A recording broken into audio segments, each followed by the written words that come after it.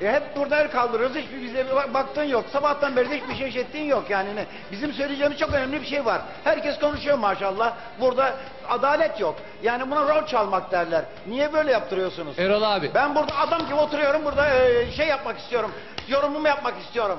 Sayın Ona Erol- müsaade edin lütfen. Sayın Erol Büyükburç. Ben onlara çok önemli bir şey söyleyeceğim. Tabii, tabii. Bütün Türkiye'de söyleyeceğim. Tabii ki efendim. Onlar yanlış şarkı seçtiler. Şu bakımdan bazı şarkıcılar vardır onların şarkılarını söylerken çok dikkat etmek lazım. Eğer Elvis şarkısı seçilmişse, eğer Beatles şarkısı seçilmişse, eğer Tarkan şarkısı seçilmişse orada ses, es ve dans vardır. Ya da başka e, öğeler vardır. Onlara riayet etsinler. Seçerken de böyle seçsinler. Onun için göz dolduramadılar ve iş, işe yaramadılar. Bundan sonra biraz bana bakacaksın. Lütfen. Sayın Erol Büyükburç bana bağırdınız, sinirlendiniz. Ama Ben- olmuyor. Hayır ben bir şey söyleyeceğim. Ben, Olmuyor. ben, ben bana bir büyük bağırıyorsun. Sadece şunu söylerim.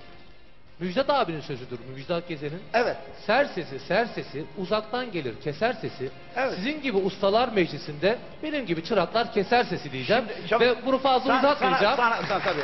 Bravo, Ve bravo. saygımdan Hayır, dolayı- Hayır, hayır, burada bir saksı gibi duruyorum. Saksı değilim ben. Ben Estağfurullah. Erol Büyükborcum. Tabii ki Erol abi bunu kimse inkar edemez. Bana saksı muamelesi yapamazsınız. Ben burada Erol Büyükburcu'm. Bana arada bir soracaksınız. Hep herkes konuşuyor. Ben e, saat altı saatten beri, kaç saatten beri oturuyoruz burada. Hiç bana iki defa laf gel, gelmedi. Niye böyle yapıyorsunuz? Haksızlık yapıyorsunuz. Bu da reyting yapar işte. Al sana. Erol. Evet. Evin kanlandı. Evet. Bu da reyting. İşte bu da reyting. Bu da reyting. Ben reytingi çok iyi bilirim. Oho nelerini bilirim. Ben sahneyi nasıl evirir çevirir, nasıl e, e, halkı neler yaparım. Ben bilirim o işi. Ama beni göz ardı etmeyin. Lütfen ben burada otururken benim ağırlığıma uygun hareket edin. Ben büyük bir sanatçıyım. Gelmiş geçmiş en büyük sanatçılardan biriyim. Ben Türkiye'de Türk popunun ilk kuran adamım. En çok bana soracaksınız. En çok bana. Bu kadar. Çoluk çocuğu dinliyorsunuz, beni dinlemiyorsunuz. Rating için bunu yapıyorsunuz. Olmuyor.